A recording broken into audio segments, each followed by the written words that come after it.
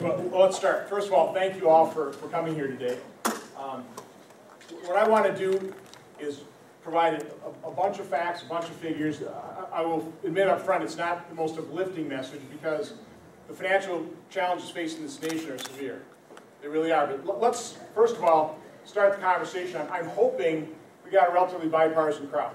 I've introduced myself to a bunch of you, and I know I've got some supporters here. I really do hope we've got people in the crowd that don't necessarily agree with me.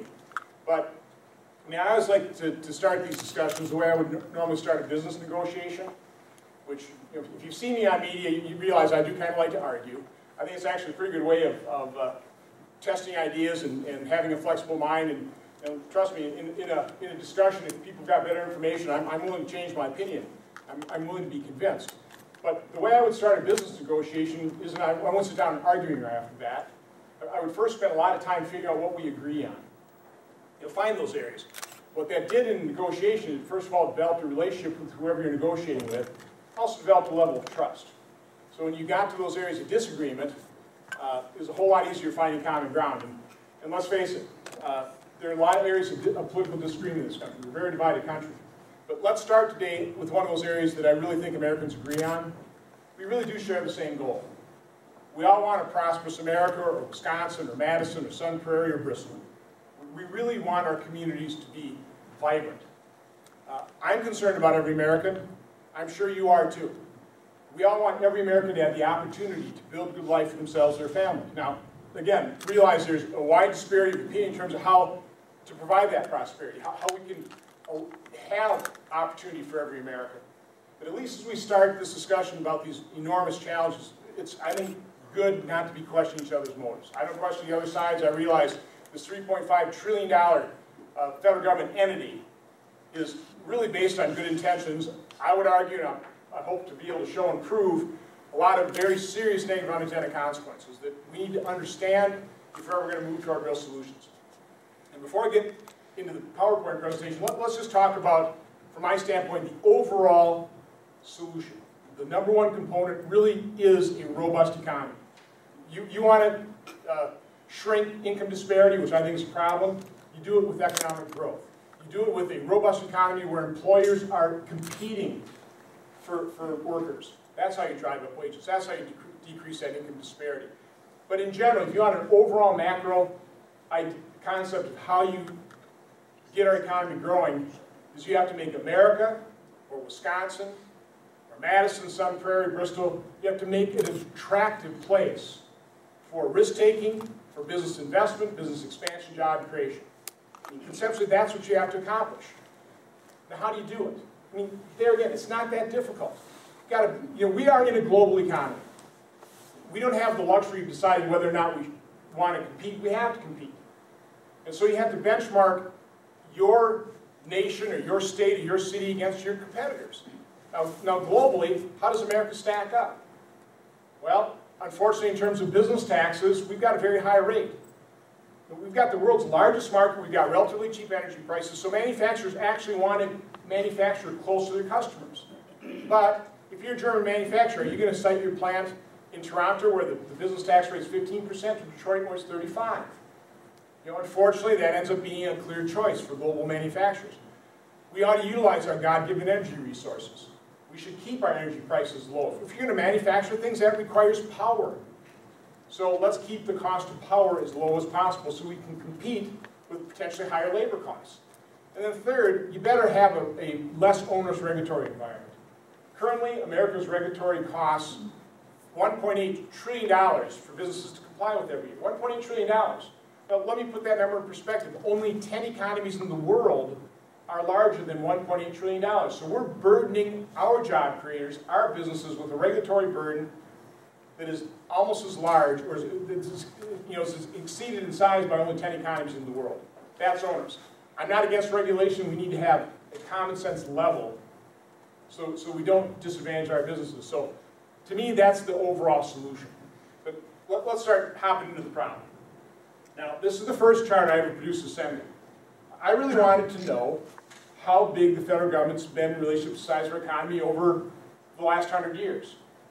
Um, if you take the viewpoint, again, it's manufacturer root cause analysis just sort of in my DNA. I mean, I really do think the root cause of certainly our financial problems in this nation, but I would say many cultural problems, literally is the size, the scope, all the rules, all the regulation, all of government's intrusion into our lives, resulting costs in debt and government. So here's the metric that measures that. The size of government in relation to the size of our economy. And what this chart shows that only 100 years ago, and by the way, I used to think 100 years was a long time ago, but I got white hair now, I'm approaching 60. It's not that long a time frame, but only 100 years ago, the federal government was only 2% of our economy. In other words, 2 cents of every dollar our economy produced, the federal government consumed. Back then, state and local governments were 5% of our economy. That, I would argue, was the vision of our founding fathers. Very limited federal government, limited within the constitutional enumerated powers. And government where we needed it, and we need government, but that should be close to the government. Anybody here, well, I know we got a mayor here. Uh, any other, anybody else in, in school board or, or city council? If you are, I think you would agree with me, local government is very accountable. If, let's say you're on a school board, if you're going to in, increase property taxes, you can pretty well be assured that probably in this town hall, you're going to have your citizens demanding that that property tax increase, if it's voted in, is going to be spent efficiently. Again, accountable government. You remove government to, let's say, Madison, a little less accountable, a little more out of control, but at least states, by and large, operate under the constraint of a balanced budget amendment or a law that requires them to balance budget every year.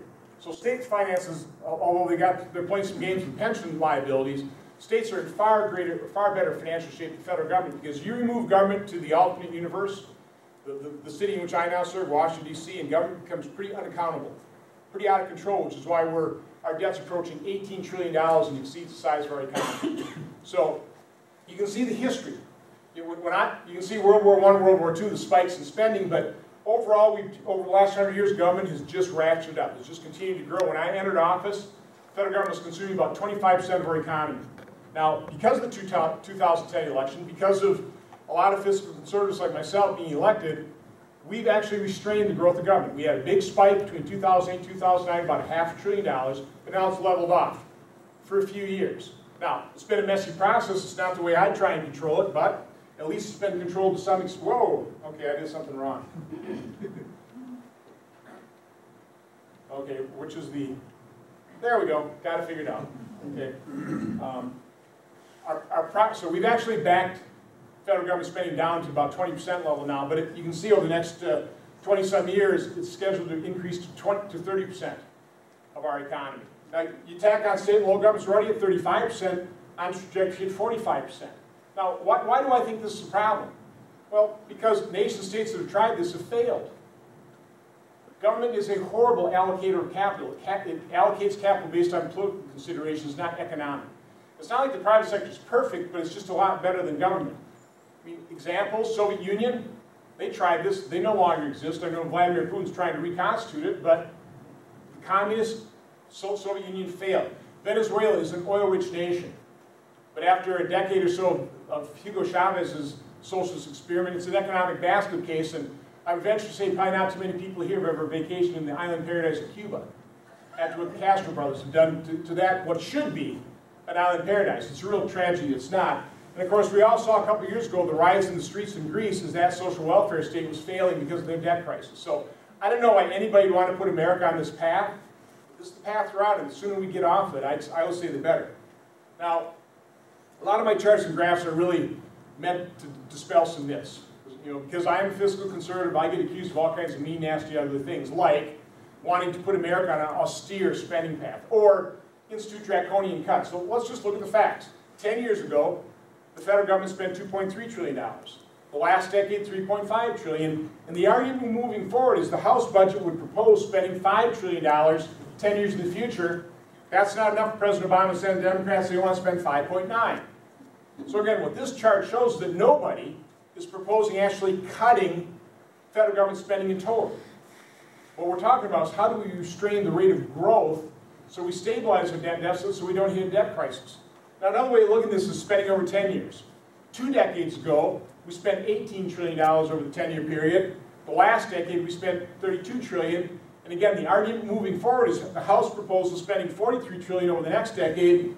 President Obama said Democrats want to spend 49. So if you've ever heard the term or the accusation against people like me that I want to institute $6 trillion in draconian cuts, That's what we're talking about.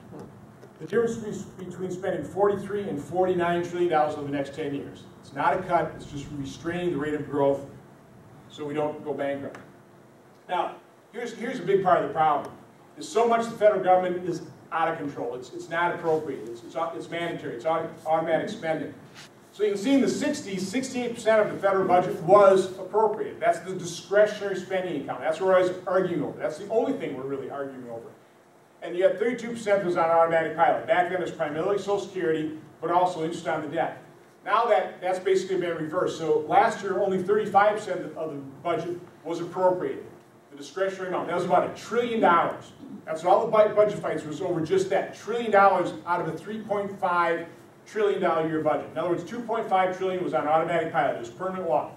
The only way you change the course is you have to pass a law to change those mandatory programs. If we don't get this under control, in 10 years, less than a quarter of the federal government's budget will be appropriated. You'll have 77% on an automatic pilot. Now, I come from the private sector. You guys have household budgets. If, if I ran a business this way, or you ran your household where you basically said 65 to 77% of the budget is on automatic pilot. In other words, healthcare, spend whatever it takes. Retirement, sky's the limit. Your business would be bankrupt, you'd have zero employees, or you as an individual would be before a bankruptcy judge. But that's the way we're running, we're running, I put that in quotes, the federal budget. It's no, it's no way to conduct a nation's budget. Uh, and by the way, I, I would argue we're basically bankrupt. The only reason we're not functionally bankrupt is we're still the world's reserve currency. We can keep interest rates artificially low delay our day reckoning, but I think we all realize that can't go on forever. No, nobody can predict how long it will go on, but we certainly can say that this is gross fiscal mismanagement, and the sooner we, we start doing a better job, the, the better we're off we're all going to be now. I realized we were in trouble when we went from talking and being outraged politically by hundreds of billions of dollars worth of deficit and changed our denomination to trillion. I actually saw a bumper sticker that said, you know, please God, don't let Washington know what comes after trillion. I think it's a reasonably good comment. So this chart is really designed to personalize it. So what this shows is you take our debt divided by the population, every American share of the current federal debt is almost $55,000. You know, four years ago, I think it was around $39,000. Ten years in the future, it'll be about $75,000. Now, I actually give this PowerPoint presentation to high school seniors and some colleges. And when I'm talking to young people, I really encourage them to concentrate on that, that debt figure 10 years in the future when you're out in the workforce, trying to provide for yourself and your family.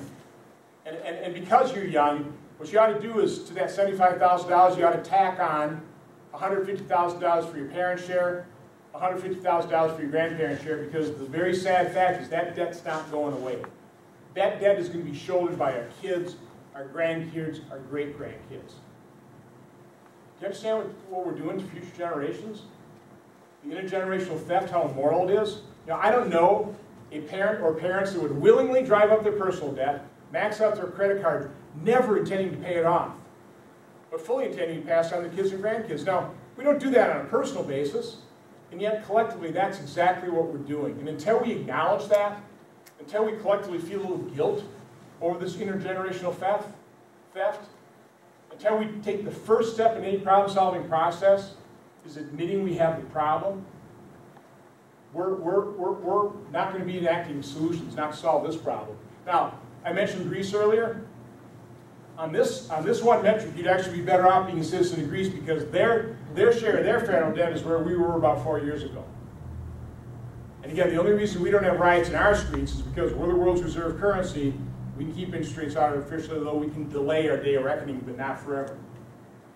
I want to spend some time talking a little bit about Social Security. Now, I mean, it is true, before I ever even thought about running for Senate, I gave a little Tea Party speech, and I, I referred to Social Security as a Ponzi scheme, and I, I, I paid the price politically during my election. But also let me admit, I was wrong, because a Ponzi scheme is illegal. when the federal government runs a Ponzi scheme, it's legal. Now, again, I, I don't take pleasure in, in, pointing that out, but it's just true. It's a very sad fact. Up until the year, through the year 2009, Social Security by and large ran a surplus. In other words, what it paid on benefits was lower than what it collected in payroll tax, the funding mechanism. But starting in 2010, when we did a payroll tax holiday, defunded the, started defunding the America's retirement plan, that payroll tax holiday is no longer in effect. But this is what's going to happen over the next 30 years according to the trust funds or CBO. Take your pick. Over the next 30 years, we're going to run a 12.7 to 14.6 trillion dollar deficit in Social Security. In other words, Social Security will pay out almost 15 trillion dollars more in benefits than it takes in the payroll tax. This is not a solvent system. This, and, and, politicians that are, that are basically making the statement, I would say lying to the American public, saying that Social Security is solvent to 2033, can only make that statement based on the fiction of the Social Security Trust Fund. But here's the problem with the trust fund, the, the reason I call it a fiction. The trust fund holds U.S. government bonds. And the problem with the government holding a U.S. government bond, a U.S. government bond has no value to the federal government. Same thing as if you had $20, spent it, and that money spent, it is long gone. It, it funded future benefits, or past benefits. But if you had $20, spent it, and then take out a note, write 20 bucks on it, stuff in your pocket, and say, I got 20 bucks. No, you don't. You have a piece of paper that you're going to have to take out of your pocket, convince somebody else to give you a real $20 in exchange for that promissory note. But I'm not the only one saying the trust fund has no value. The Office of Management Budget, which is part of every administration, basically says the same thing in their 2010 publication. They say, yeah, I mean, you've got balances there, but they'll pay benefits only in a bookkeeping sense. I mean, the OMB realized that the trust fund doesn't hold assets that can be drawn down to fund future benefits because you have an asset in the trust fund, $2.76 trillion of U.S. government bonds, but the Treasury Department holds a liability. When you consolidate the next the book the books of the federal government, that consolidation nets to zero. Now, in my budget committee, in, in hearings, six times with high government officials, I tried to get them to admit that this consolidation effect nets to zero, even though it's in their own publication. Treasury Secretary Lew wouldn't admit it, acting OMB Director Zients wouldn't, uh, OMB nominee and then Director Burwell wouldn't admit it. Finally, my fifth try, I, I learned how to sneak up on him. I, I, I talked to CBO in, in, a hearing. I asked questions to CBO Director Elmendorf. said, no, Director Elmendorf. I want to talk about the trust, Social Security Trust Fund. It, holds $2.76 trillion U.S. government bonds, right? He wasn't quite sure of the figures. Said, know, that's, that's the amount. He said, okay, yeah, but, and that's an asset to the trust fund, right? So now, a U.S. government bond is a liability to Treasury, right? Yep, yep, it's a liability. $2.76 trillion liability. So what happens when you consolidate the set of books? And fortunately for me, fortunately for America, in this process of problem solving, admit we have a problem, both Director Elmendorf and Fed Chair Yellen, just a couple weeks ago, admitted, actually said the magic word, you consolidate the federal books, it nets to zero. Now again, I, I don't take pleasure in that fact, but unless we're willing to face that reality, we won't solve the long-term sustainability of Social Security. Now, I said it has no value, but it does exist. I got a picture of the trust fund. That's it right there. That's it. It's, it's, a, it's a four-drawer file located in, in, a, in the H.J. Hintgen building in Parkersburg, West Virginia. And it would be funny if it weren't so tragic and sad. This is what politicians are pointing to and, and claiming will sustain Social Security through the year 2033. I mean, I would just consider that a falsehood. It's just not true. We're, we're pulling the wool over the American public. We're not admitting we have a problem. Again, unless you go through those first steps, first of all, admit you have a problem, and secondly, defining the problem. Now, I was one of those Republican senators that President Obama invited out to dinner. I appreciate the outreach, and the, the, the, discussion was very frank. And then, you know, I, was, I would take some credit for prodding President Obama to make his staff available to try and find areas of agreement. And maybe we don't solve, solve the whole, whole problem, but how about at least move the football down the field? Let's agree, let's figure out what we can agree on to start solving this huge debt deficit issue. So, part, part of my input in that process was problem definition, problem solving, and so I, I argued, now first of all with my Republican colleagues, but then with the White House, is we don't have a 10-year budget window problem. That's how all the stuff is scored over 10 years, which makes sense. I mean, it's hard to project a year in the future, much less 10 or even 30. But the fact of the matter is, if you just look at 10 years, we dramatically understate the size of our problem because we really have a 30-year demographic problem. We have the baby boom generation. We're retiring at the rate of 10,000 people per day. We're going to live for another 30 years, hopefully. Um, and we've made all these promises, the baby boom generation, but we've not made provisions to pay for it. And so what we did is we did a, we did a projection, and I'm not going to give you that, but I'm going to show you CBO figures. Because CBO has two projections. One's a baseline, One's their, called their alternate fiscal scenario. Now, they don't do it in dollars, they do it as percentage GDP. And so I, I wanted something a little more authoritative than my own or our staff's projection. And so what we did is we converted the CBO's percentage GDP into numbers, because I think it's a little more understandable. So over the next 30 years, what I'm going to show you is the CBO's alternate fiscal scenario converted to dollars. And, and what it shows is the first decade, $8 trillion of projected deficits. Now, nobody really, this is pretty common across every scenario. Now, I don't know if we get by the next 10 years without, you know, without hitting a debt crisis. $8 trillion. Second decade, $31 trillion. The third decade, $88 trillion of deficits for a whopping total over 30 years, $127 trillion. Now, I said 100 years, isn't looking like that long a time period. 30 years, my, my little baby just turned 31 a couple weeks ago. That went by like that. We're going to be on these, um, hitting or bumping against this reality a lot sooner than anybody's really thinking about right now. Now, I also realize trillions of dollars is incomprehensible. So let's put this in perspective. The entire net private asset base in the United States, in other words, the net assets of every business, large and small, every household is $106 trillion. So you don't have to be an accountant or economist to look at this and realize, yikes, we got a problem. Now, the CBO baseline shows about $66 trillion over the next 30 years. Our projection was 107. You know, I thought we hit a pretty, pretty, pretty good middle ground right there when we looked at it, when, the way we did our projections. So somewhere between $66, 107, 127 trillion dollars over the next 30 years, it's a problem we shouldn't be ignoring, but we are. Know, let, let, me just tell you a quick little White House story. As part of those meetings, we, we were in the White House. I developed this projection. Our $107 trillion projection is what I was showing the White House. And President Obama came in the last half about a two-hour meeting. He was sitting right here. I was sitting right there. When I got to make my pitch, I, really was asking the president, listen, we, we've done this. We've come up with $107 trillion. We put numbers to it. It's more, understandable than unfunded liabilities and percentage of GDP. Said, Mr. President, you have to use your bully pulpit. We'll be right there behind you. We'll go collectively in a bipartisan fashion, the American public and describe the problem. So we can collectively admit it so the American public's ready for solutions. So I, I made what I thought it was a pretty good sales pitch. And President Obama looked at me and said, Ron, he said, we can't show the American public those kind of numbers. If we do, they'll throw, they'll throw up their hands, give up all hope. Which is, which is a legitimate point. I mean, how do you break the news to the American public when, when politicians from both parties have been lying to him for decades? But here's the more depressing fact, is he went on to say, besides, Ron, you know, we can't do all the work here. We've got to leave some work for future, future presidents and future Congresses. Now, from my standpoint, that's pretty deflating. You know, we, we, were in the White House later during the, the, uh, the government shutdown. I made the same plea. I got no response from that time. He just moved on to the next senator. So, again, we're going to have a tough time solving these problems if we don't have the president, if we don't have enough members of Congress that are really, really willing to tell the American people the truth, if we don't have a population that understands the situation. We've got a real hard time solving these problems. Like, if that wasn't depressing enough for you, that, if that doesn't keep you awake at night, this one will. This is what I call a graphic depiction of a debt crisis. What it shows is that from 1970 to 1999, the average interest rate the federal government paid in its debt was 5.3%. Pretty reasonable interest rate, right? If you've got a mortgage, you're probably paying close to that, plus or minus 1 or 2%. By the way, back then we were a far more creditworthy nation. Back then our debt to GDP ratio was between 40 and 67%. Now it's over 100% because our debt is larger than our economy.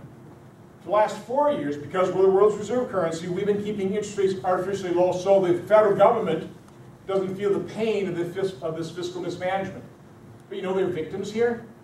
You know, if you're a senior on a fixed income, you, you maybe had an annuity paying 6%, you rolled over into what? Now what can you get for a risk-free asset? If you're a young person recognizing how unsustainable Social Security and Medicare is, you're trying to save for your retirement, what, what can you put your risk-free portion of your portfolio in and realize the benefit of any kind of compound interest rates? So there are real victims to this, but of course government doesn't want to feel the pain of its fiscal mismanagement, so we've been keeping interest rates artificially low. What's a debt crisis? Well, what, what sparks debt crisis is when creditors from around the world look at the United States and realize, you know, you guys aren't taking this very seriously. You're not really addressing the problem here. You're a credit risk. I'm not going to loan you money anymore. Certainly not at that rate.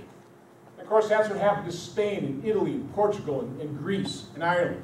We're not immune, not forever. If, if we were to just return to that very reasonable interest rate of 5.3%, you know what that add to our interest expense every year? $650 billion. Now, we're already paying about $250 billion in interest every year. So 650 is 65% of discretionary spending amount I'm talking about. Added to our current interest rate, you're talking about 900 billion. 90% of discretionary spending.